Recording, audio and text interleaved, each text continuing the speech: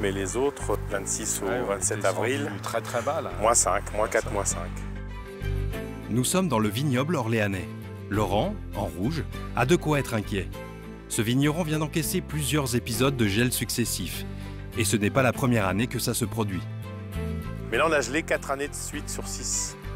On est coincé entre la Loire et la forêt, qui est pas loin. Et donc, il y a des, c'est des, mouvements, des masses d'air froid, humide. Et donc, ça fait des courants d'air.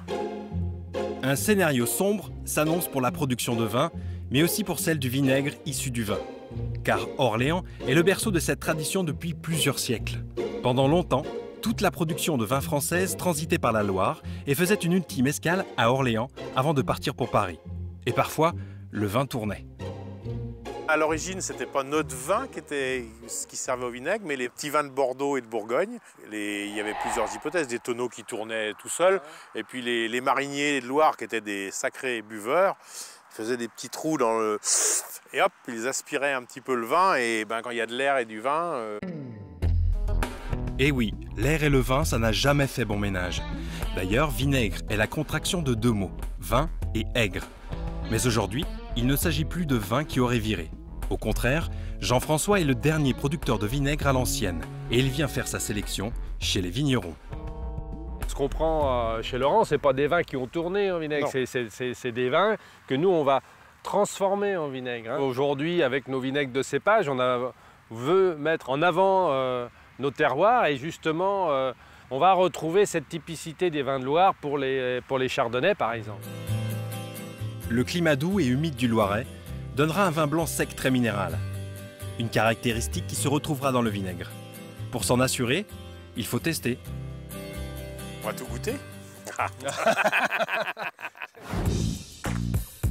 C'est un vin sur lequel on peut, euh, on peut vraiment travailler et après euh, en faire des, des belles choses pour, euh, pour nos vinaigres de cépage. Oui, oui, il en est bien là. hein, c'est-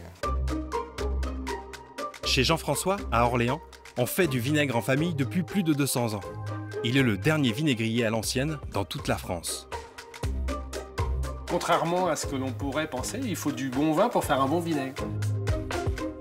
D'ailleurs, ici, tout rappelle l'univers du vin, à un détail près. Il y a des trous dans les tonneaux. Forcément, puisqu'il faut bien laisser passer l'air.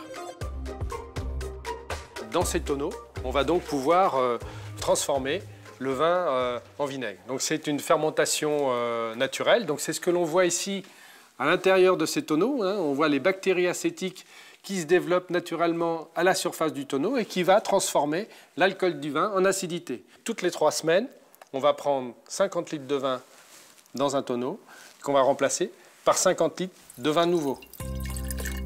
Il faut laisser le temps à la nature pour faire son travail. Il faut vraiment euh, ne pas brusquer les choses, contrairement aux procédés industriels qui, eux, font euh, du vinaigre en, moins de 24 heures. Et nous, il nous faut plus de 3 semaines par tonneau pour faire un vinaigre. Après trois semaines, on ne peut pas encore parler de vinaigre à l'ancienne. Il faut ensuite qu'il vieillisse en fût au moins pendant 12 mois, jusqu'à 9 ans. Certains vont ainsi exhaler des senteurs très puissantes de fruits rouges. Mais n'allez quand même pas en boire une bonne lampée, ça reste malgré tout un produit assez tonique. En revanche, en cuisine, c'est un régal. Salut Alain, comment vas-tu? Ça va et toi? Ça va bien? Alain est un chef réputé à Orléans, et pour lui, le vinaigre, c'est un nectar. Moi j'aime l'acidité. C'est ce côté un petit peu qui nous réveille un peu le matin, mais j'en boirai pas le matin, mais c'est vrai que j'aime bien ça, ça, ça donne du peps. Jean-François, je te, je te fais une petite vinaigrette fenouil D'accord. avec du jus d'orange. tout C'est ça, super, hein, ça me va Juste bien. pour commencer ta petite grillade, je vais faire euh, réduire un petit peu le, le jus d'orange. Et là, je vais faire réduire le, le vinaigre. Donc là, ça va réduire pendant une petite demi-heure. Et puis après, on va obtenir ça. Vous allez avoir le jus d'orange qui se sera concentré, qui aura légèrement caramélisé, et puis le vinaigre qui sera additionné dedans. Cette vinaigrette pleine de fraîcheur accompagnera très bien une salade de fenouil. Une réduction de vinaigre blanc avec un beurre noisette s'accordera avec des asperges. Et le vinaigre s'utilise aussi en dessert avec des mûres poêlées et de la glace à la lavande.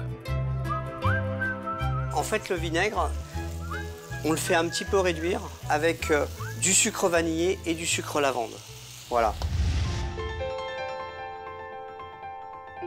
C'est juste divin. hein. Cet équilibre de, avec l'acidité euh, et la douceur de la, de la glace.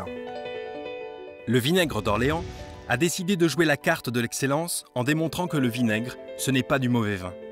Forcément, il y a un prix à payer, 12 à 15 euros le litre, contre 5 à 6 pour une variété industrielle.